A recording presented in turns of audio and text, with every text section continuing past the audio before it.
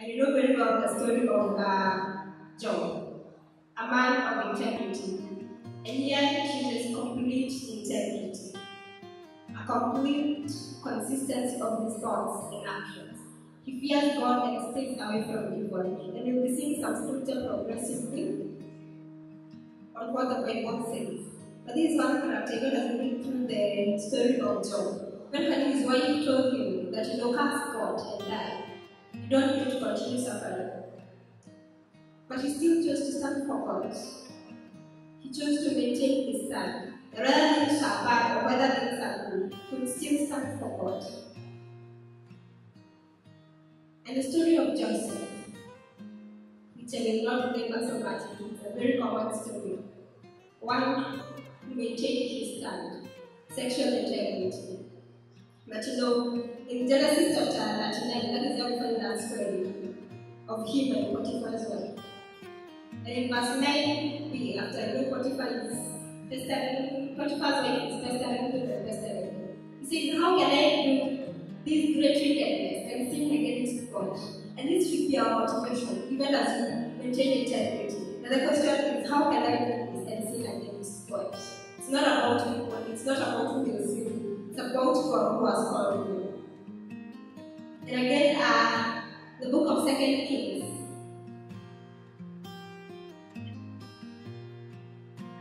Second Kings chapter 12, verse 15. No accounting of this money was required from the construction supervisors because they were honest and trustworthy men. Uh, this was a time when the, the temple was being repaired in the reign of King Jehoash. And I'm not saying that you not give an account when you are given funds by the treasurer.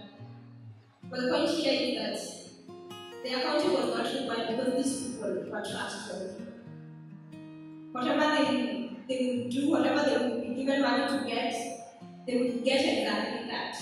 And no accounting was required. And even at that time, were people who were very faithful, who were honest and trustworthy, but they could be counted on. Even in those little things. Again, uh, one character we want us to dwell on Kidogo is Daniel. The book of Daniel,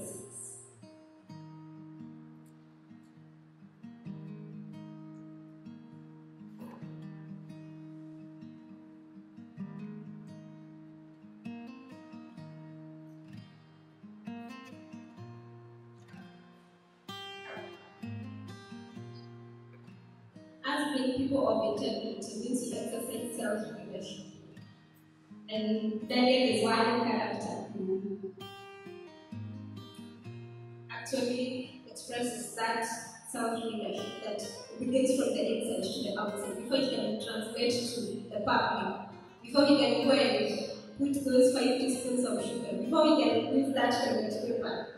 Begins from the inside. It's an inner conviction. And you know, I am doing this because God actually wants me to do this. It's not because of people.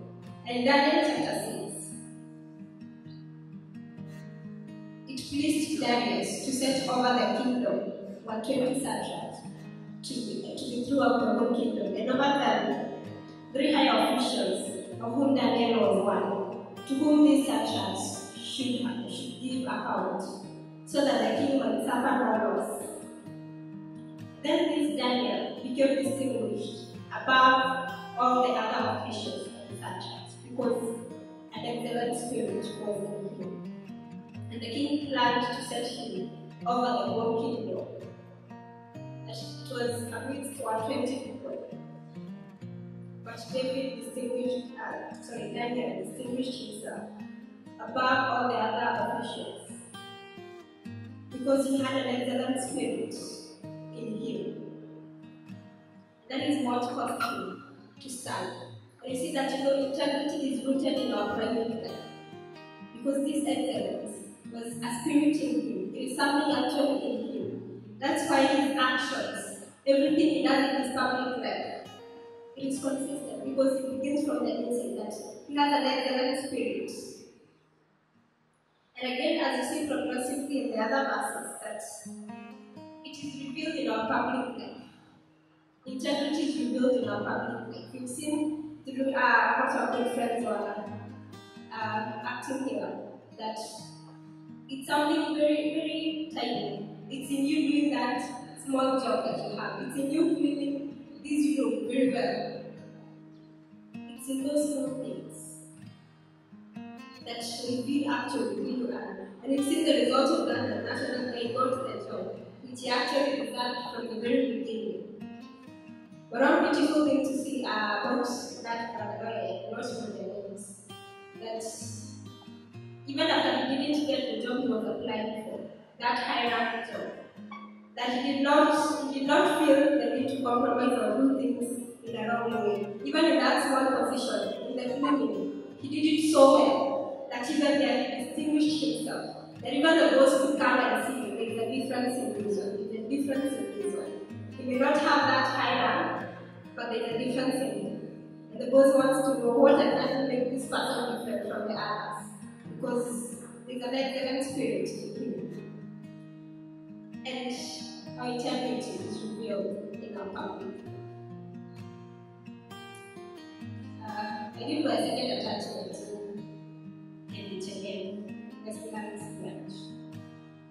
And uh, Westland is close to the much. It's beautiful,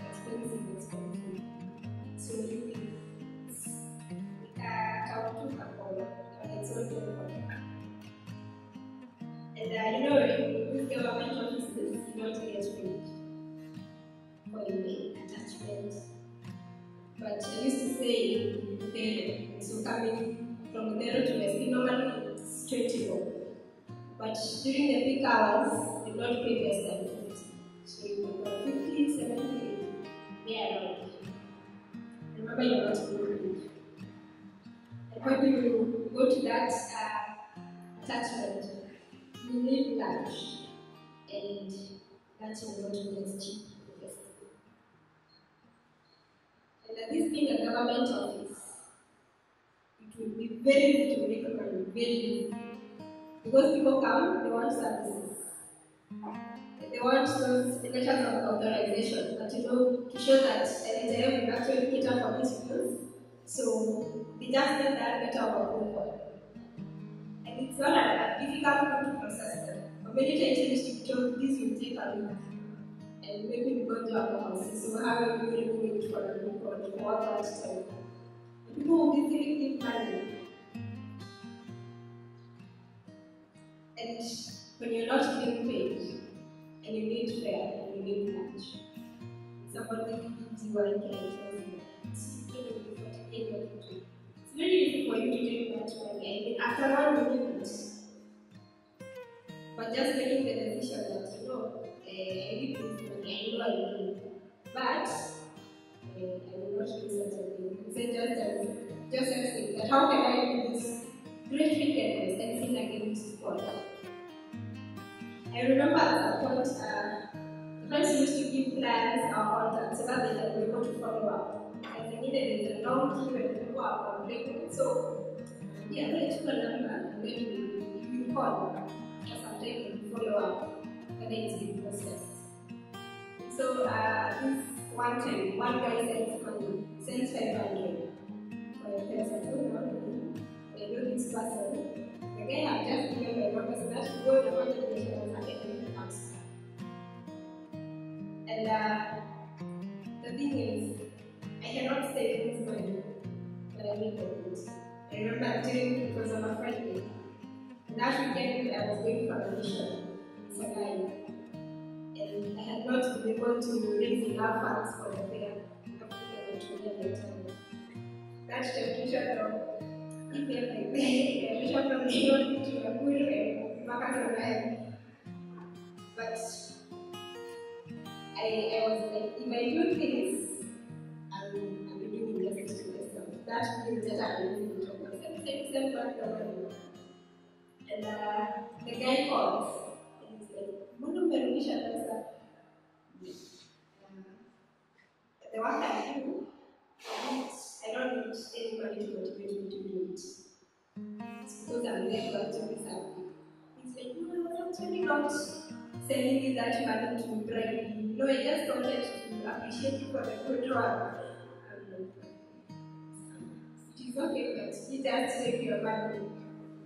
And just getting to share the stories with uh, my fellow attachees there.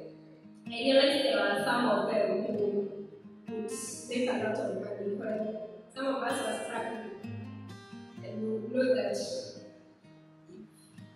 this money exists, people know what I love.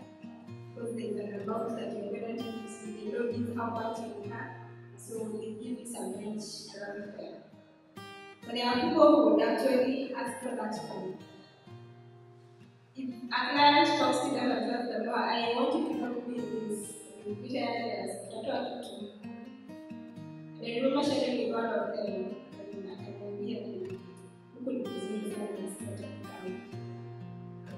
Why you? Because there is money, there is a lot. On a bad day, he goes home with 500. A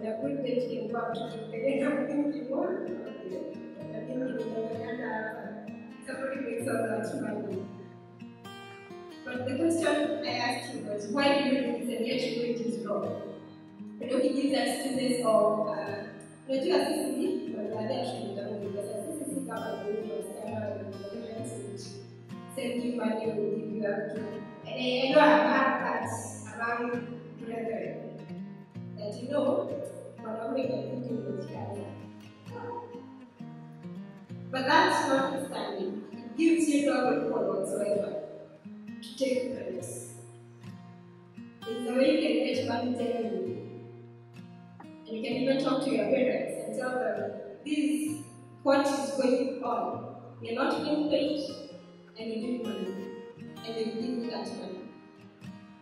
And the cost of that, uh, later years after, talking to that good friend of mine, he has not gotten a job till today. And by, by then, I was Shamaliza campus. That um, was in 2017. He has not gotten a job. And I'm not saying that everybody who lacks a job is because they have engaged in corruption.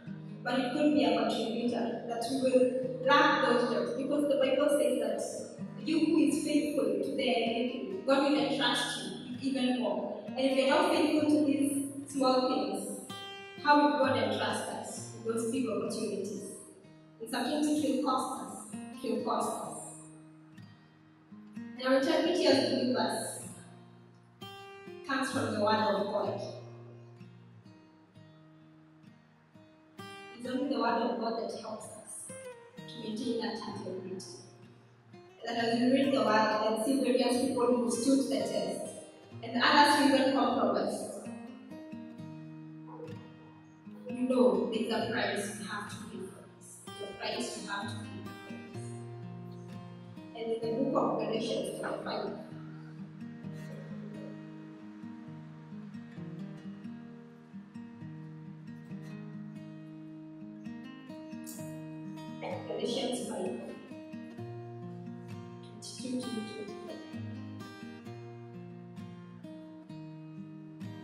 But the fruit of the Spirit is love, joy, peace, patience, kindness, goodness, faithfulness, gentleness, self-control. Against such things there is no law.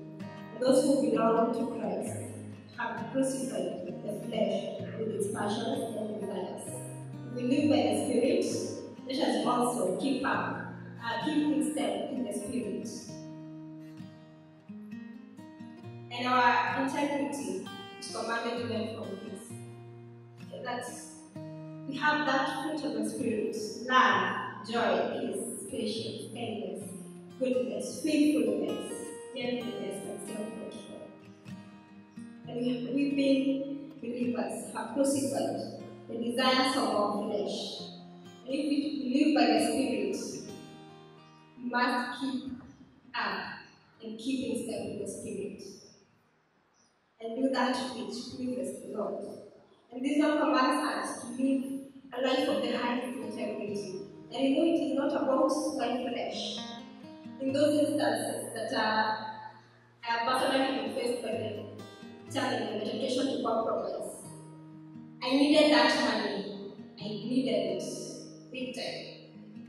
But I had to, you know, crucify those desires because they are against their things, but for the sake of God, because He has given His Spirit, that we may be able to say no to all these things. He's given us His grace, that we will exercise self-control, even when we are tempted, and we know that we need that time, that we can be able to say no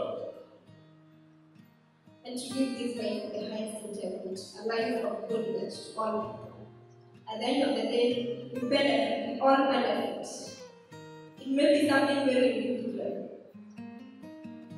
That I am the one actually taking responsibility. But we have seen the results of how much corrupt people affect our society. We see what happens in our society when we leaders fail to do what is expected of them. We suffer. And that is the same thing for us. That if we do not uh, maintain integrity, it does not only affect us, it is collective, it affects even people around us. And uh, Luke chapter 9, verse 23.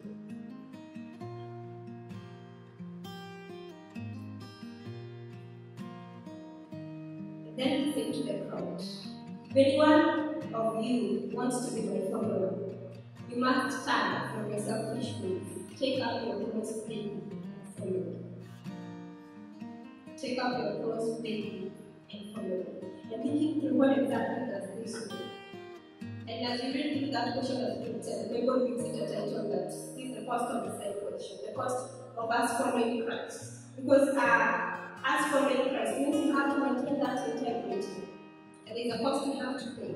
Taking our cross daily, making a decision to die to self every new day, every new day. Because challenges present themselves every other day. But you have to make that decision to take up our cross daily, to die to self. Not that physical cross. It's to die to self and follow Christ. In the book of First Peter,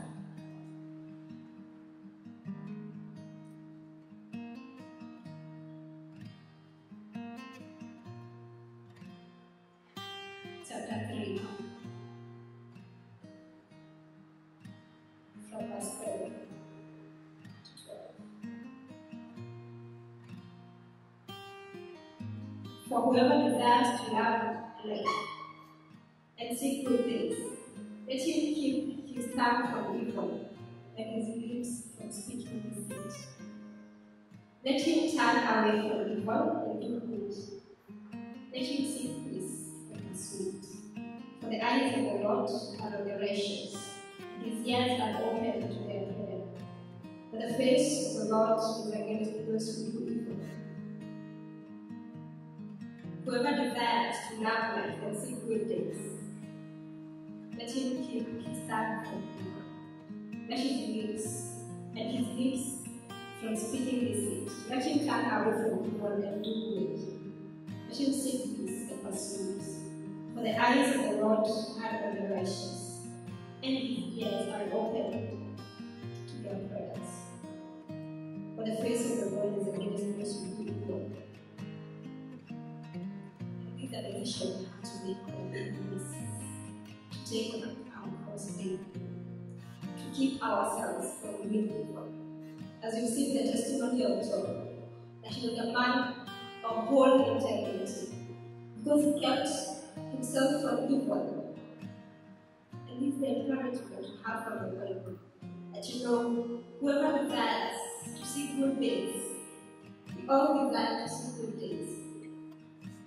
And we need to keep our tongues from evil. Our lips from speaking as we were talking about those small things that make a difference. The book of Psalms, chapter 119.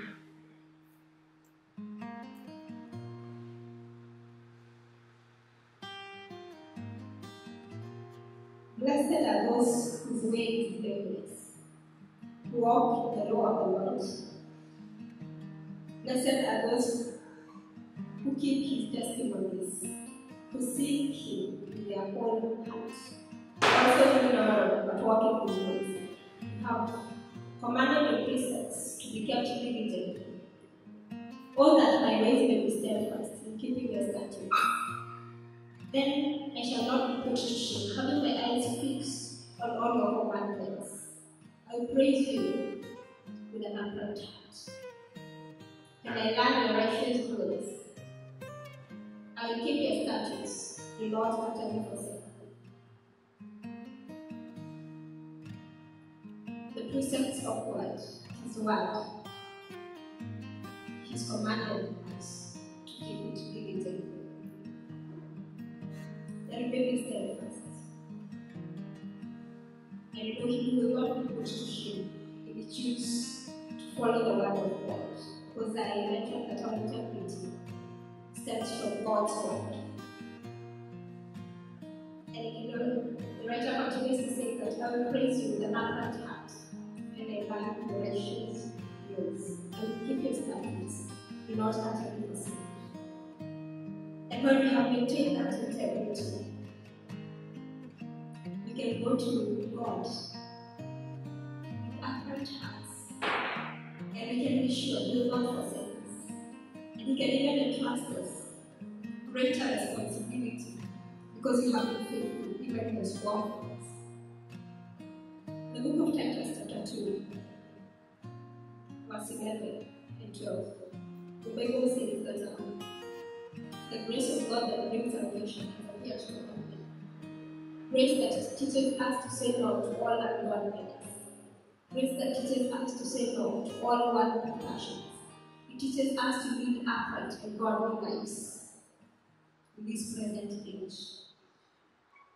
And I love that bit of in this present age because there are many things that happen in our society. There are many temptations.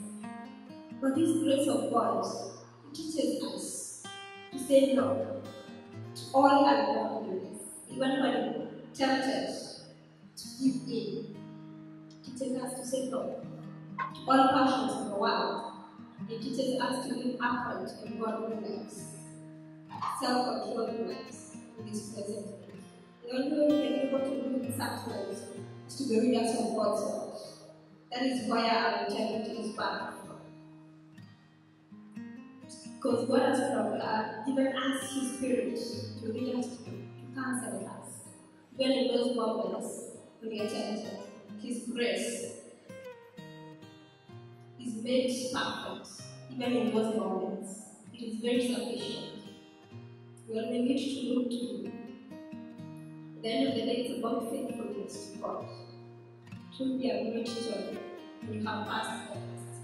When we look back and see those temptations that brought themselves to us and you stood the test, it gives you great joy as a person.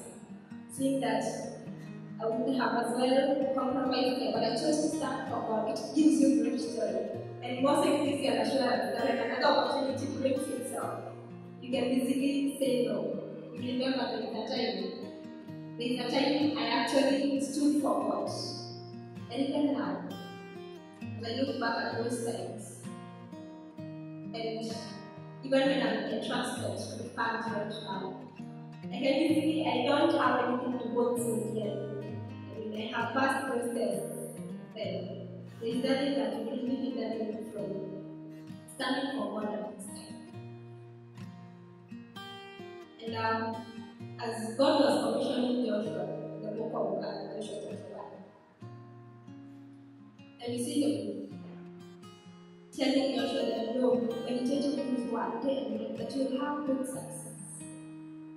That you'll be able to lead lives of integrity, need to meditate on his word of God day and night. Yes, challenges will present themselves, but you need to make that transition. Just as we've seen various characters in the Bible, that the principles they have, the convictions they have, are from the Bible. They do not just come from anywhere else. They're backed from the Bible. It's something that is actually deeper. That nobody needs to watch over you, nobody needs to know. When you're standing for God. And it gives you a place. And anytime you go to Him, and you can remember I was faithful in this. I have been tempted to compromise this and this but God, I stood for you. And here I am. You have that authority to even correct people, to even tell people, hey brother, you're not doing right. I was sharing a story when I was doing a attachment. If I, I was also involved in corruption and taking bribes, I would have now gone to that and tell him you're not doing the right thing. It gives you that authority to even go and correct people. And Dietrich Bonhoeffer, in his book The Cost of Discipleship, says that when Christ calls a man, he bids him to come and die.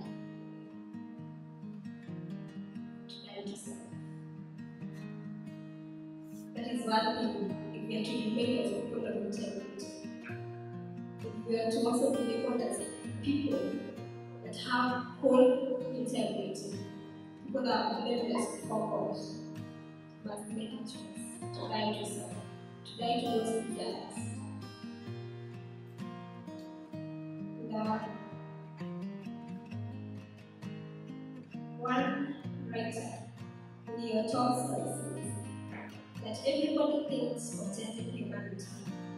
Nobody of testing himself.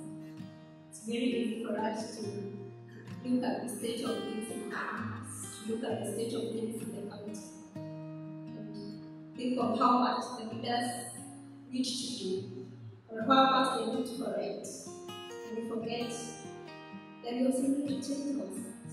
And yet, our world is very hungry for genuine church people, people who will stand for people who will maintain integrity, even in those compromising situations. Let us be among those who believe that the inner transformation of our lives is a goal worthy of our best efforts. Let us be among those who believe that the inner transformation of our lives is a goal worthy